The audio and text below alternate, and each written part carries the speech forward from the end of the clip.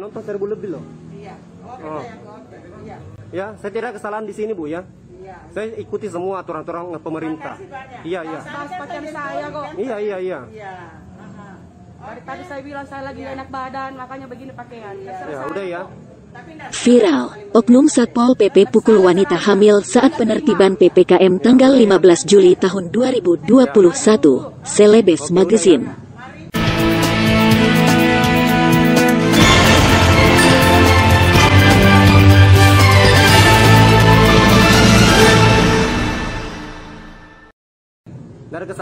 Seorang ibu hamil diduga dipukul oleh oknum polisi Pamong Praja, Pol PP. Ya. Pemukulan ini dilakukan saat penertiban warung PPKM. Warung makan itu diketahui milik Rosmayanti dan Ivan. Informasi yang beredar di media sosial Twitter, saat itu petugas melakukan penertiban PPKM. Namun, warung milik Rosmayanti dan Ivan ini sudah tutup sejak pukul 19 waktu Indonesia Barat. Meski sudah tutup, keduanya sedang melakukan live Facebook untuk mempromosikan dagangan. Aktivitas ini dilakukan di kafe yang juga rumah tinggal mereka. Namun berdasar keterangan yang beredar, petugas mengira jika masih ada aktivitas di warung tersebut. Pada video CCTV yang beredar, terlihat gerombolan petugas mendatangi sebuah kafe di Kabupaten Goa. Kemudian terjadi cekcok antara pemilik kafe dengan petugas. Lalu salah seorang oknum Pol PP melakukan pemukulan kepada pria pemilik kafe. Ya. Tak terima suaminya dipukul, sang istri kemudian marah dan menyerang balik Pol PP. Petugas kemudian membalas dengan memukul perempuan pemilik kafe yang sedang hamil 9 bulan itu. Belum ada keterangan resmi terkait kasus ini. Namun, pemilik kafe telah melaporkan kejadian ini ke kepolisian terkait. Sementara itu, pasca dipukul, Rosmianti sempat dilarikan ke fasilitas kesehatan terdekat. Lalu kemudian kondisi ibu hamil dan janinnya dipastikan sehat. Iya. Kewenangan bagaimana, Pak? Emang saya emang saya salah apa pak? Masalahkan yang lain. Isimu saya periksa. Masalahkan saya punya pakaian. Mana isinya? Kenapa dengan pakaian Saya dalam. saya? Saya tutup ini kalau tidak ada isimu.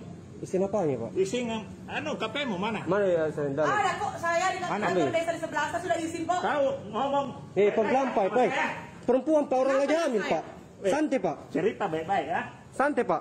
Orang lagi hamil pak. Mana Astagfirullahaladzim. Astagfirullahaladzim. Ya Allah. Astagfirullahaladzim. Tunggu tunggu sayang. Saya lapor pak. Eh. Woi. Woi. Woi. Sini astagfirullah pak. Dia pak. Dia memukul pak.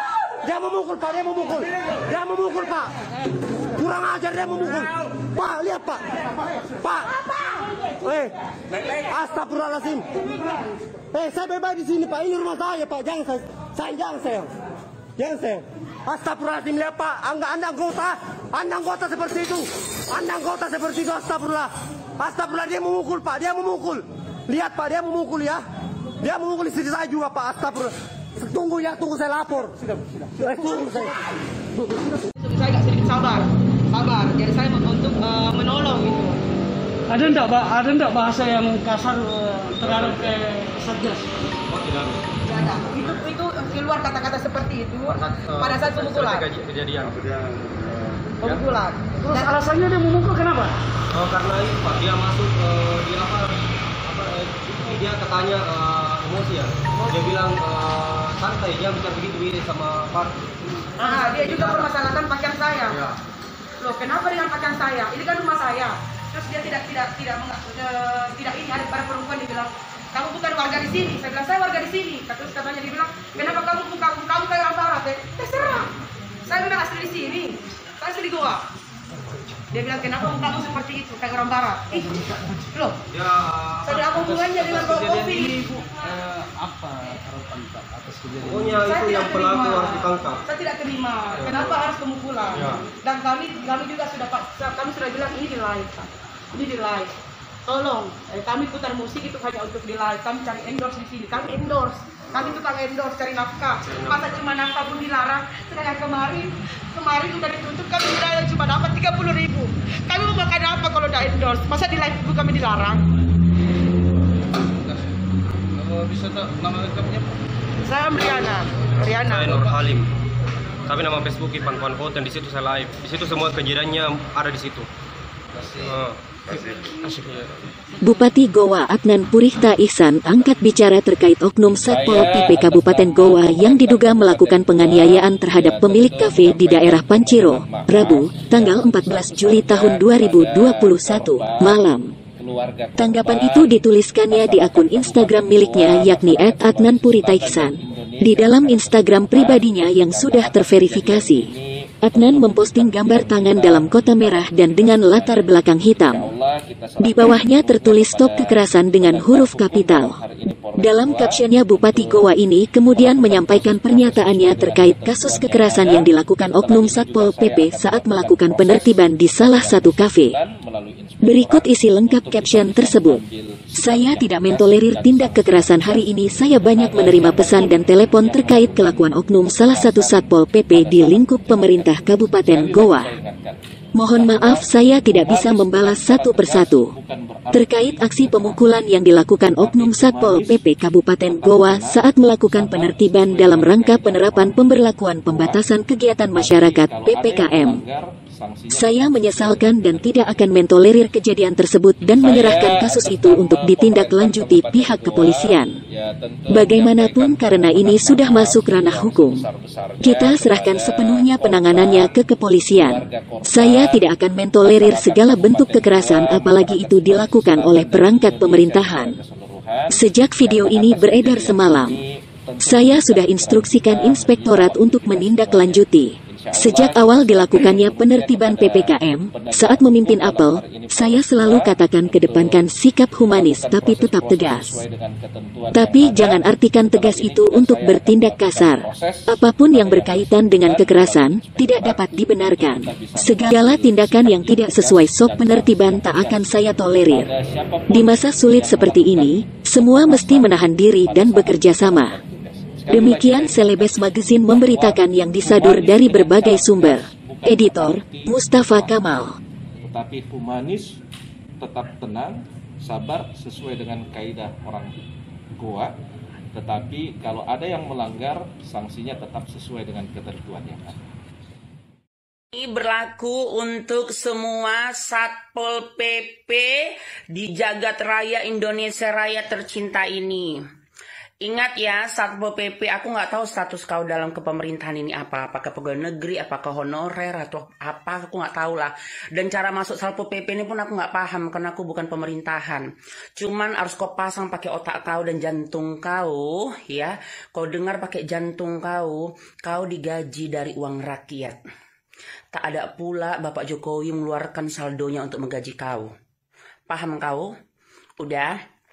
Oke, kau berlandaskan menjalankan tugas. Cuman yang aku ingatkan harus harus pakai attitude ngomongnya harus pakai attitude. yang harus aku ingatkan Kau mau menjalankan tugas, mau menjalankan puki ayam, sambal belado, segala macam. Jangan kau arogan, ya. Salpo PP khususnya di Medan ini dan banyak siaran-siaran Salpo PP selalu aku lihat arogan. Lebih parah arogannya daripada polisi, daripada tentara. Kalau polisi masih bisa lagi minta tolong minta tolong. Aku tengok Salpo PP ini ya, yang matakan gitar semalam aku masih diam, nggak ada aku ya buat video ya matakan matakan gitar-gitar pengamen ya. Ya sudahlah, karena aku dengar udah ada minta maaf kau klarifikasi ya. Tapi ini ke sini mengesalah PPKN dan biologi ini kau arogan kali ya. Nggak usah kau campak-campak dagangan eh, pedagang-pedagang itu ya. Sayur-sayurannya segala macam di pinggir jalan. Orang itu pun kalau ada lapaknya yang bagus di mall sana nggak mau dia jual di emperan jalan. Baru kami pun mama-mama yang miskin ini kalau harus naik tangga lagi harus naik mall lagi jauh segala macam mau beli sayur hanya beli kangkung kami pun malas kami suka beli ini pinggir jalan lebih fresh lebih gampang kami dapatkan. Karena mama aku udah tua nggak sanggup lagi beli ke pasar harus naik mall segala macam udah jadi kalau mau merapi kau segala macam Kau kasih lapak. Baru kedua PPK ini nih ya, udah banyak disalah kaprahkan. Yang dibereskan kerumunannya. Udah. Jadi kau bilang sama orang yang berjualan ataupun sama orang yang berkerumun, jangan berkerumun. Udah, dibikin nomor antrian kayak apa pandai-pandai otak kalian kalian kasih solusi. Jangan pedagangnya kalian huru harakan ya. Kalian rusak dagangannya, mau kalian ambil, kalian masukkan ke mobil kalian itu, mobil pickup kalian ya. Mau dapat makanan gratis, baju gratis, dagangan gratis kalian ya. Arogan kali. Yang buat aku bikin video pagi ini adalah itu ada dari mana itu? Daerah mana pakai bukan di Medan itu. Salpo PP-nya sampai menampar istrinya lagi hamil kan yang punya warkop ya kan. Ngapain kau main main main main PC kau? Hah? Udah kau masuk ke warkop orang, kelapa orang dengan arogan kau udah pakai baju itu udah hebat kali berapa gaji Salpo PP ini rupanya? Aduh, jadi sombong lagi deh. Ya kan? Ah, baru kok ngapain main PC? Pak, denger ya, Pak ya. Menjalankan tugas, menjalankan tugas. Kalau mama-mama maki kalian agak cocok lagi karena muncul mama-mama. Kalian laki-laki dan kalian orang berpakaian dinas kalian kalian tunjukkan kalian sal- salpo PP yang baik dan benar ya.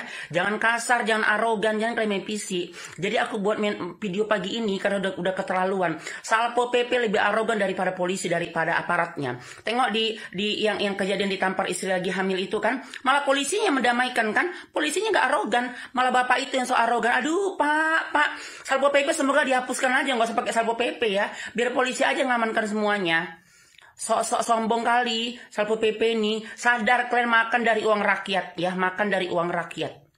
Hanya rakyat harus kalian hormati. Udah kalau pedagang agak ngelawan eh, disuruh tutup segala macam wajar manusiawi. Namanya orang makan cari duit hari itu untuk makan hari itu. Kalian Salpo PP punya gaji bulanan ada tunjang kiri tunjang kanan tunjang depan tunjang belakang iya kan jadi nggak usah arogan saya nggak usah arogan. Kalau nggak mampu kok jadi aparat nggak mampu kok jadi tenaga ini eh, ini apa-apa lah namanya poli, po- eh, apa itu sapo pp itu. Nggak usah nggak usah kau kok nggak punya kesabaran kok masih barbarnya kok kayak ratu ento udah mendingan kau jadi influencer aja ya kan? Cocok kerasa ingat itu ya salpo pp ya.